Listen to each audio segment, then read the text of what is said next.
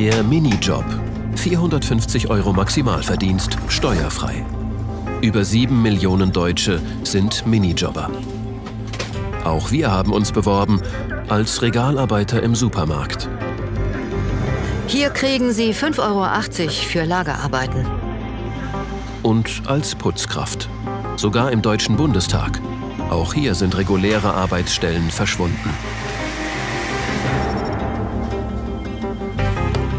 Nee, Vollzeitstellen gibt's hier nicht. Ich muss mit Hartz IV aufstocken. Die Hartz-Reformen sind zehn Jahre alt. Minijobs waren ein Teil davon. Also in der Wirkung, was daraus geworden ist, war es ein Fehler. In dieser, in, in dieser Größenordnung. Durch die Minijobs wuchs der Niedriglohnsektor. Vollzeitstellen wurden massenhaft gestrichen.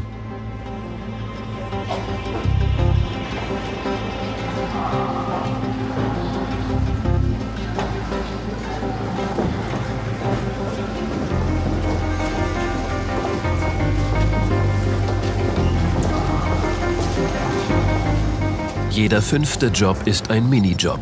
Im Grunde ein ganz normales Teilzeitarbeitsverhältnis mit Vorteilen für Arbeitnehmer. 450 Euro sind steuerfrei. Minijobber haben Anspruch auf Urlaub und Lohnfortzahlung im Krankheitsfall. Sie sind rentenversichert, es sei denn, sie widersprechen. Berlin. Ich bewerbe mich in der Reinigungsbranche. Hier werden überdurchschnittlich viele Minijobs angeboten. Am nächsten Tag habe ich ein Vorstellungsgespräch. Es geht um eine Putzstelle für ein Hotel. Die Vorarbeiterin macht klar, was hier verlangt wird. Das ist ein Knochenjob. Sie wedeln nicht einfach mit dem Staubtuch rum, putzen ihre Zimmer und gehen dann. Es kommt immer extra Arbeit hinzu. Aber ich bekomme 8,82 die Stunde. Ja, das ist der Mindestlohn, aber Sie müssen Ihre Zimmer schaffen. In einer Stunde zweieinhalb Zimmer. Zwei Tage sind Training. Wenn Sie danach gehen, gibt's kein Geld. Das müssen Sie mir unterschreiben. Fragwürdig, denn auch Probearbeit muss grundsätzlich bezahlt werden. Der erste Tag. Nach kurzer Einweisung Betten machen, Staubwischen, saugen. Pro Zimmer stehen 24 Minuten zur Verfügung. Das Badezimmer samt Toilette, Spiegel, Boden und verglaster Dusche putzt ausnahmsweise die Kollegin. Normalerweise müsste ich das gesamte Zimmer innerhalb der 24 Minuten alleine reinigen. Wer länger braucht, kriegt diese Zeit nicht bezahlt. Das ist unzulässig. Damit nicht genug. Arbeiten wie Müll wegbringen, Putzwägen packen oder Flure saugen kommen hinzu. Nein, diese Arbeiten werden auch nicht bezahlt. Das macht man nebenbei. Die bezahlen nur die Zimmer. Wenn man die nicht schafft, hilft ein Kollege. Aber man bekommt weniger Geld. Wir bitten die Firma um Stellungnahme, ob tatsächlich so genaue Zeitvorgaben existieren. Sie streitet alles ab. Unsere Kunden sind drei, vier und fünf Sterne Hotels, für die Qualität einen sehr hohen Stellenwert hat. Dies lässt sich nicht unter Zeitdruck gewährleisten. Tatsächlich zeigt unsere Erfahrung, die Arbeitszeit reicht in aller Regel nicht für die anfallende Arbeit. Arbeitgeber müssen für Minijobber pauschale Sozialabgaben leisten, prinzipiell auch bei Probearbeit. Frage an den Gewerkschafter Rainer Knerler. Ist unbezahlte Probearbeit legal, wenn der Arbeitnehmer sich einverstanden erklären musste? Das geht gar nicht. Das ist illegal, das ist ungesetzlich. Das ist nicht nur Lohnbetrug am Arbeitnehmer, das ist auch Sozialversicherungsbetrug. Denn für diese zwei Tage geht dem Staat ähm, alles an Sozialversicherungsbeiträgen verloren, was man sonst bekommen würde. Und insofern ist das auch Sozialversicherungsbetrug. Mhm. Ich zeige Ihnen noch mal was. Da hat meine Kollegin, mit der ich zusammengearbeitet habe, den Flur gesaugt. Sie wird pro Zimmer bezahlt und dieses Flursaugen muss sie trotzdem machen. Das ist natürlich illegal. Das sind versteckte Akkordvereinbarungen. Wenn jemand eine Stunde Arbeitszeit anbietet und eine Stunde beschäftigt wird, hat er den Mindestlohn zu bekommen, der vereinbart ist, 8,82. Und dann kann man nicht hingehen und kann sagen, du musst in dieser Zeit zweieinhalb Zimmer schaffen. Das führt dazu, dass die Arbeitnehmerinnen häufig eben über ihre acht Stunden noch mal länger bleiben, um dann solche Arbeiten zu machen. Und das ist System. Das ist ja nicht irgendwie zufällig, sondern es wird systematisch so gemacht. Ist die Reinigungsbranche eine Ausnahme? Nächster Versuch, der Einzelhandel. Ich suche eine Stelle als Minijobber. Vorteil für die Arbeitgeber? Überall, wo in kleinen Zeitfenstern gearbeitet wird, kommen Minijobber zum Einsatz. Mit ihnen vermeidet der Arbeitgeber Leerlaufzeiten. kriegen Sie 5,80 Euro für Lagerarbeiten. Mindestens jede fünfte Stelle im Einzelhandel ist ein Minijob. Sie können Montag anfangen, 8,30 Euro die Stunde. Ich entscheide mich für das Angebot dieses Edeka-Marktes in Wolfsburg. 7,50 Euro die Stunde, dreimal pro Woche, jeweils vier Stunden. Regale einräumen. Für den ersten Tag gibt es kein Geld, auch hier unbezahlte Probearbeit.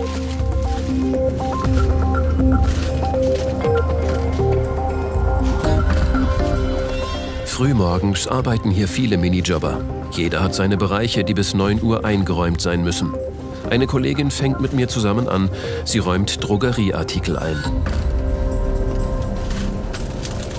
Gleich sind meine vier Stunden um und das alles muss noch weggeräumt werden. Wie soll ich das denn schaffen? Sie wird länger arbeiten, aus Angst, den Job zu verlieren. Früher, erzählen Kollegen, gab es mehr Arbeitskräfte. Nur noch Minijobber hier. Andere werden gar nicht mehr eingestellt. Ich arbeite ein paar Tage als Minijobber. Getränke einräumen, Pappe pressen, überzählige Ware ins Lager bringen. Meist reicht die Zeit, manchmal dauert es einfach länger. Das Lager ist muffig, dreckig, vollgestellt. Die Kollegen sagen, es bleibt einfach keine Zeit hier aufzuräumen. Dieser Markt und drei andere gehören einem Kaufmann. Der kümmert sich offenbar nicht besonders um die Zustände. In der zweiten Woche Besuch am Arbeitsplatz. Eine Betriebsrätin erzählt, dass man vergeblich mit dem Eigentümer verhandelt hätte, doch mehr Vollzeitkräfte einzustellen. Jetzt arbeiten sie an einer Petition und sammeln Unterschriften. Das Ziel: Vollzeitstellen erhalten, Abbau der Überstunden. Es sind unglaublich viele. 12.000 Überstunden. 12.000 Überstunden circa. Also alle vier Läden, das alle sind dann irgendwie was ungefähr 200 Leute mit 230 ungefähr 230 mit 400 Euro. Mit 12.000 Überstunden. Ja. Auch die 400 Euro Kräfte machen auch Überstunden. Die machen auch Überstunden. Die Überstundenberge bedeuten, dass Arbeitskräfte fehlen. Hier steht zwar Edeka drauf, doch das Geschäft gehört einem eigenständigen Kaufmann. Er hat vier Märkte übernommen und ist inzwischen nicht mehr an Edeka-Tariflöhne gebunden. Er gibt keine Interviews.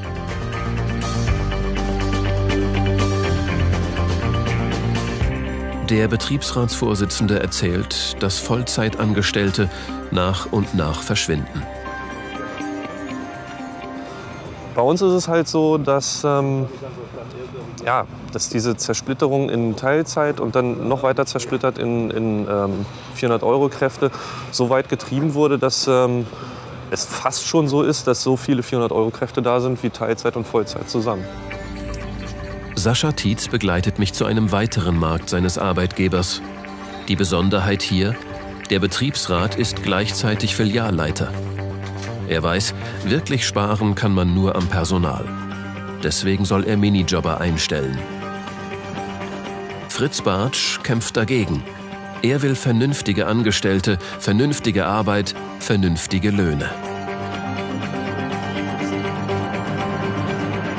Ich bin ja jetzt schon ähm, seit 23 Jahren bei der Edeka-Gruppe und seit zwölf Jahren hier als Filialleiter. Und ich habe gesehen, dass es immer mehr auf Lohndumping geht und ähm, immer mehr gute Kräfte das Unternehmen verlassen haben. Minijobs hieß es ja mal, dienen dazu, irgendwie, dass man äh, nebenher Arbeit finden kann mhm. auf, auf, vernünftige Maße und so mhm. weiter. Aber Sie erleben das so, dass damit letztlich nur Lohndumping betrieben wird? Es wird nur Lohndumping damit betrieben. Also es entstehen äußerst selten mal daraus dann sozialversicherungspflichtige Beschäftigungen. Also die dienen dazu, um womöglich noch tarifgebundene Mitarbeiter zu ersetzen durch halt geringfügig Beschäftigte, wie das so schön bei uns heißt. Fraktionen sind halt unglaublich ungelenkt. Das ist, macht es auf Minijobs sollten ursprünglich nur Brücken in Vollzeitstellen bauen. Über sieben Millionen Deutsche arbeiten als Minijobber. Knapp fünf Millionen gehen keiner anderen Beschäftigung nach. Andreas Dönert hat zwar eine Vollzeitstelle als Reinigungskraft, aber weil das Geld nicht reicht, putzt er auch noch als Minijobber. Eine 55-Stunden-Woche für insgesamt 1400 Euro netto. Seine Erfahrung, als Minijobber hat man immer schlechtere Karten. Also wenn ich mal eine Kleinigkeit habe, wie irgendwelche Schmerzen, die öfters mal vorkommen, wie eine Handgelenke, Schulter oder Rücken, aufgrund der hohen körperlichen Belastungen, dann beiße ich auf die Zähne dann gehe ich trotzdem zur Arbeit. Ist das ein Unterschied, wenn man im Minijob krank wird oder in einer Vollzeitstelle? Also ist da schneller die Kündigung auf dem Tisch oder wie Ja, viel schneller. wenn dort irgendwelche Ausfälle sind, dann äh, ist sofort die Kündigung auf dem Tisch. Das haben Sie auch schon erlebt? Das habe ich mehrmals schon erlebt. Erste Station, ein Bürogebäude in Berlin-Charlottenburg.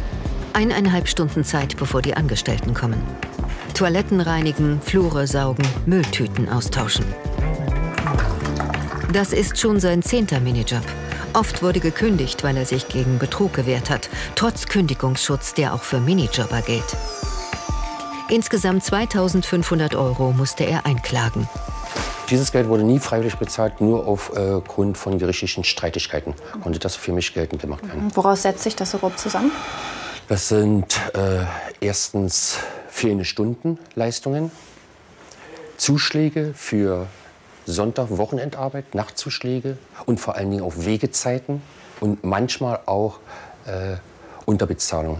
Statt Zahlung eines Mindestlohnes wurde dann statt den 8,82 nur 7 Euro oder 6,50 Euro äh, bezahlt. Immer folgte die Kündigung.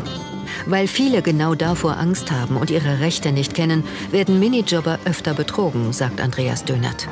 Heute arbeitet er zwölf Stunden an drei verschiedenen Orten. Zusammen mit den Fahrzeiten ein 16-Stunden-Tag.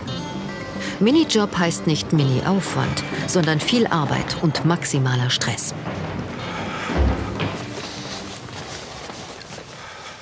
Also es sind Riesenängste die und, und Druck seitens Arbeitgeber, der hier ausgeübt wird. Aber Sie lassen sich nicht kleinkriegen, oder? Nee, überhaupt nicht. Das, was ich leiste, möchte ich auch bezahlt bekommen.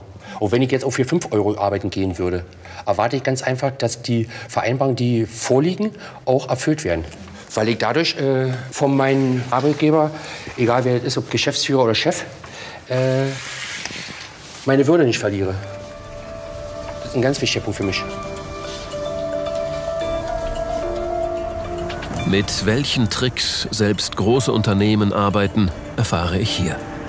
Ein Minijob als Pakethelfer bei der Deutschen Post. Arbeitszeit dreimal die Woche morgens von 3 bis 7 Uhr. Auch hier ist die erste Schicht unbezahlt. Das seien Schnuppertage, sagt der Vorarbeiter, um die Arbeit zu lernen. Er führt mich zur Vertragsunterzeichnung ins Büro. Dort liegt ein 20-seitiges Vertragswerk, zwei Minuten Zeit, um es zu lesen und zu unterschreiben. Merkwürdig, als Vertragsdauer ist genau ein Tag angegeben. Danach erfolgt der Einsatz als Abrufkraft. Und außerdem steht dort, der Arbeitnehmer hätte kein Interesse an einer dauerhaften Beschäftigung. Was das zu bedeuten hat, weiß der Vorarbeiter auch nicht. Bitte bei allen Vertragsangelegenheiten das Personalbüro fragen. Wir müssen jetzt langsam mal anfangen hier. Ich bleibe misstrauisch, unterschreibe aber trotzdem. Der Arbeitsplatz ist an den Abladerampen der Post-LKW. Dort erklärt ein anderer Vorarbeiter, was genau zu tun ist. Pakete vom Lastwagen heben und mit dem Strichcode nach oben aufs Band legen. Vier Stunden Schnupperarbeitstag, um zu sehen, ob der Minijobber die Arbeit körperlich oder intellektuell bewältigt. Das hat man nach fünf Minuten herausgefunden. Den Rest der Nacht arbeite ich umsonst.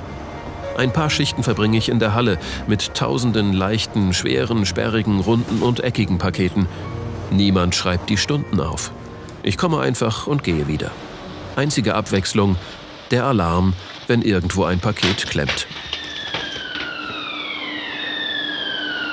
Frage an den Vorarbeiter, wie man denn Urlaub planen könne und was bei Krankheiten geschieht. Auch er verweist ans Personalbüro. Minijobber haben Anspruch auf anteilige Urlaubstage und Lohnfortzahlung im Krankheitsfall. Als ich mich im Personalbüro danach erkundige, zeigt sich, mit welchen Tricks die Post arbeitet. Durch den Eintagesvertrag entsteht gar kein richtiges Teilzeitverhältnis. Das nennt sich Abrufkraft. Deswegen haben sie weder Anspruch auf Urlaub noch auf Lohnfortzahlung im Krankheitsfall. Die Post macht durch diese Verträge juristisch nichts falsch abgesehen von dem unzulässigen, weil unbezahlten Schnuppertag. Auf Anfrage will sich die Post zu Details nicht äußern.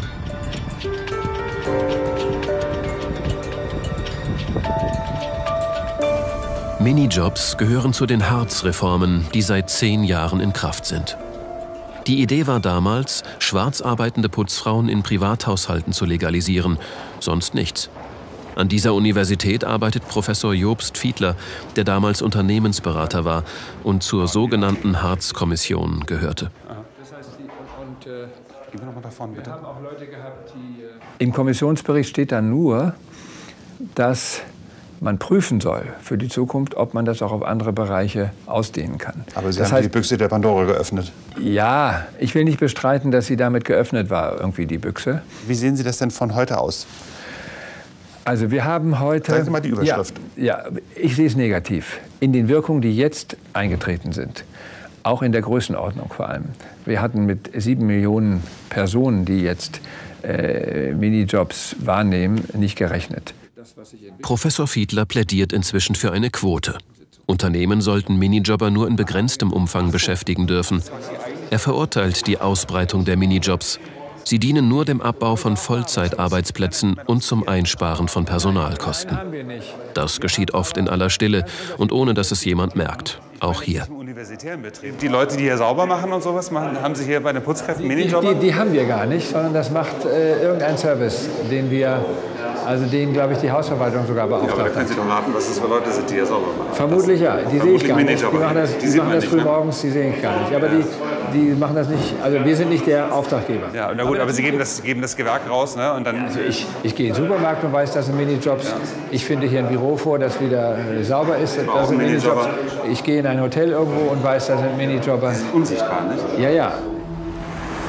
Ich habe mich bei einer weiteren Reinigungsfirma beworben. Sie putzt Büros von Abgeordneten des Bundestags. Zutritt zur neuen Arbeitsstelle nur mit speziellem Sicherheitsausweis. 5 Uhr morgens. Zusammen mit einer Kollegin reinige ich Abgeordnetenbüros sämtlicher Parteien. Die Kollegen arbeiten entweder als steuerpflichtige Teilzeitkräfte oder als Minijobber. Vollzeitkräfte begegnen mir gar nicht. Viele erzählen, dass sie gerne mehr arbeiten würden. Ich habe immer wieder nach einer Vollzeitstelle gefragt, aber die sagen, es gibt keine. Ich stehe jetzt schon seit Monaten auf der Warteliste. Im Moment stocke ich noch mit Hartz IV auf. Der nächste Tag. Ich erfahre, dass die Fahrzeiten, wenn man in verschiedenen Objekten putzt, nicht immer gezahlt werden. Eine von uns, die putzt erst hier und danach im Bundeskriminalamt. Die Fahrzeit dazwischen? Nein, das wird nicht bezahlt. Die muss auch mit Hartz IV aufstocken. Einige kündigen auch, weil es hier so gut wie keine Vollzeitstellen gibt. Im Fahrstuhl treffe ich zufällig die Vorarbeiterin und gebe vor, Vollzeit arbeiten zu wollen. Ich erkundige mich auch gleich nach den Wegezeiten. Vollzeit ist schwierig, da gibt's kaum Stellen. Sie müssen warten, bis was frei wird. Ja, und die Wegezeiten, ich weiß nicht, ich glaube, das wird nicht bezahlt. Auftraggeber ist der Deutsche Bundestag. Er hat diese Reinigungsfirma engagiert. Mehrere ehemalige Mitarbeiter berichten, dass im Krankheitsfall gekündigt wird. Auch Überstunden, Wegezeiten und Nachtzuschläge würden nicht immer bezahlt werden. Drei Mitarbeiter sagen ein ausgemachtes Interview kurzfristig wieder ab. Ja, schade. Okay. Alle haben Angst, in der Branche keinen Job mehr zu bekommen oder Kollegen zu gefährden. Einer entschließt sich doch zu reden. Über ein Jahr lang hat er in der Firma gearbeitet. Die meisten in der Firma haben einen Minijob. Ein Kollege hat morgens in einer Schule geputzt, danach in einem Bezirksamt. Die 45 Minuten Fahrzeit dazwischen wurden nicht bezahlt. Das heißt, also wenn man hier eine Vollzeitstelle hat, dann wird es bezahlt, aber so in Teilzeit- oder Minijobs werden die Wegezeiten. Werden nicht bezahlt. Von wie vielen Leuten wissen Sie da? Ich habe das dauernd erlebt. Das Thema wurde totgeschwiegen. Ich hatte auch manchmal Objekte, da gab es keine Sonntags- und Nachtzuschläge. Dann hieß es, der Kunde zahlt keine Zuschläge, deswegen können wir dir auch keine zahlen. Ja. Der Geschäftsführer gibt uns ein Interview. Zwei Drittel der Mitarbeiter sind Minijobber. Die Firma, erzählt Michael Groß, reinige 1600 Supermarktfilialen. Das ginge nur morgens in begrenzter Zeit. Mehrere Minijobber seien praktischer als eine Vollzeitkraft. Ich konfrontiere ihn mit den Vorwürfen der ehemaligen Angestellten. Also ich habe mit bestimmt fünf, sechs Leuten gesprochen, äh, die auch äh, glaubhaft versichern, mhm. dass eben die Wegezeiten bei ihnen nicht bezahlt werden und dass das die Regel ist. Wenn das, wenn das wirklich in der Tat ähm, so sein sollte, bin ich mir auch da ganz, ganz sicher, es sind Einzelfälle, es sind vielleicht auch hier und da der ein oder andere Objektleiter. Also mir sind sechs Leute bekannt. Okay, um, sechs Leute sind Ihnen bekannt, packen wir doch ein paar drauf. Ähm, wir beschäftigen ein paar tausend. Da können wir schon irgendwo über Einzelfälle reden. Vielleicht ist es auch ein Problem dann, dass der ähm, zuständige Objektleiter irgendwie unter Druck geraten ist. Es gibt bei uns definitiv keine klare Anweisung, dass wir keine Arbeitszeit, ähm, äh, keine, keine Wegezeiten bezahlen. Das gibt es bei uns nicht. Die Firma Clean Garant ist nicht in der Gebäudereinigerinnung. Warum achtet der Auftraggeber nicht darauf, zumal es sich um die Bundestagsverwaltung handelt? Als letzte Instanz ist der Präsident des Deutschen Bundestages Norbert Lammert zuständig. Wochenlang versuchen wir ein Interview zu bekommen, vergeblich. Wir entscheiden, einen seiner Vorträge zu besuchen, ein letzter Versuch. Das machen wir jetzt nicht. Das ist wir haben leider keine andere Möglichkeit bekommen, mit Ihnen zu sprechen zu dem Thema. Nein, nein, jetzt haben wir eine Veranstaltung zu einem anderen Thema, zu der eingeladen worden ist und die lassen wir jetzt nicht zu einem anderen Anlass umfunktionieren. Können wir dann an einem anderen Anlass mit Ihnen zu dem können, Thema sprechen? Sie können gerne in Berlin sich nochmal äh, melden und dann sage ich Ihnen gerne dazu ein paar zusammenhängende Bemerkungen. Wir nehmen ihn beim Wort. Und tatsächlich, eine Woche später bekommen wir doch unser Interview. Die Vorwürfe, dass im Bundestag Minijobber ausgebeutet werden, sind Norbert Lammert nicht neu.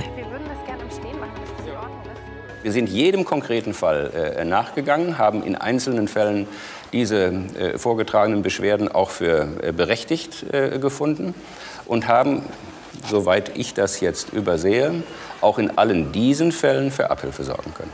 Was mich überrascht, ist, dass Sie Firmen beauftragen, die nicht mehr in der Gebäudereinigerinnung sind. Es kann jedenfalls nach geltendem Ausschreibungsrecht dies nicht eine Kondition sein, von der die Auftragsvergabe abhängt.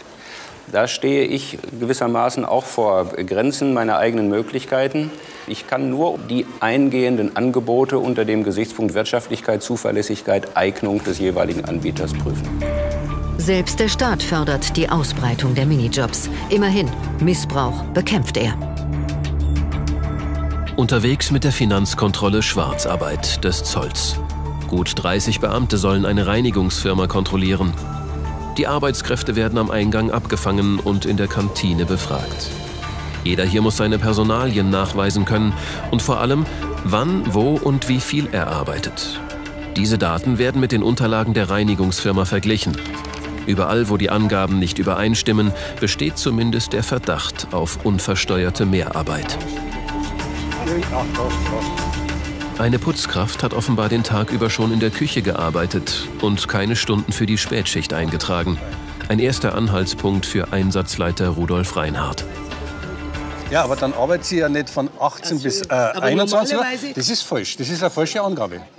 Es wäre ein üblicher Trick. Minijobber einfach mehr arbeiten lassen und diese Stunden unter der Hand ausbezahlen.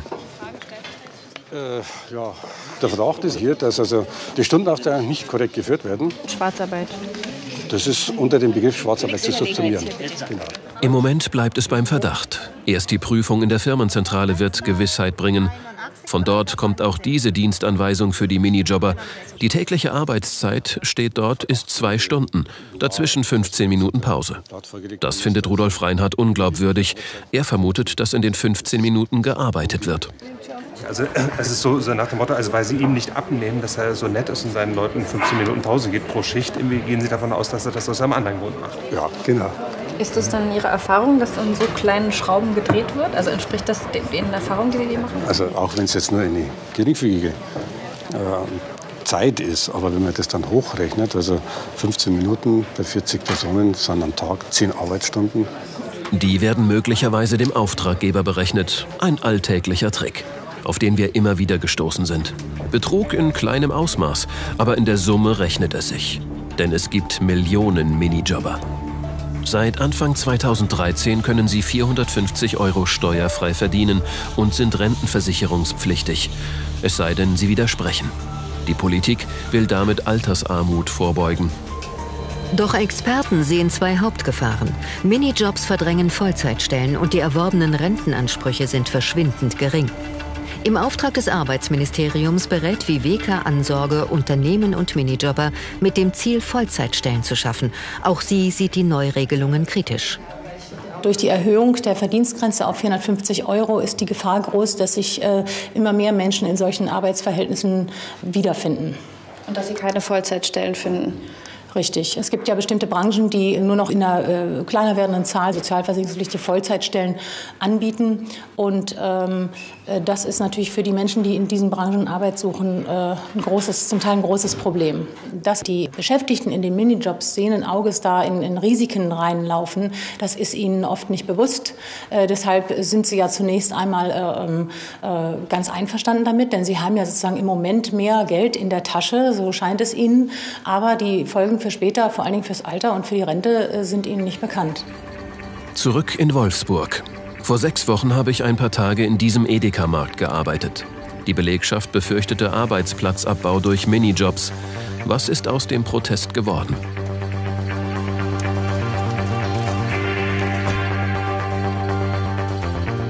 Hier erfährt der Betriebsrat das Ergebnis einer Umfrage unter den 230 Mitarbeitern.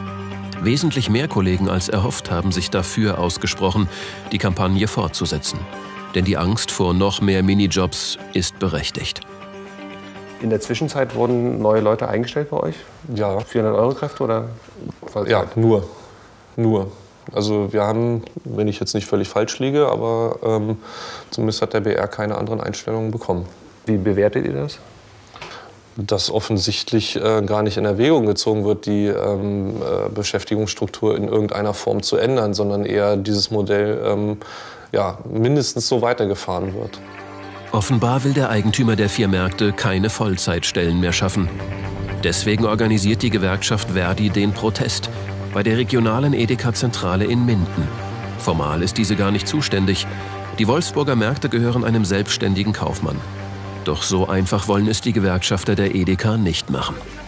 Ähm, wir erwarten uns einfach, dass die Edeka sich schon darüber bewusst ist, dass äh, wenn wir das Logo tragen und auch das Image mittragen, dass die Edeka auch Verantwortung trägt.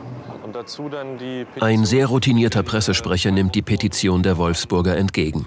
Und auch er beruft sich darauf, dass er für die Wolfsburger Märkte nicht zuständig sei. Okay, das werden wir uns mit Sicherheit in aller Ruhe und Ausführlichkeit anschauen. Auch die Vorstände hier im Haus logischerweise werden uns mit der Materie als solcher befassen und beschäftigen und dann werden Sie auch von uns was hören.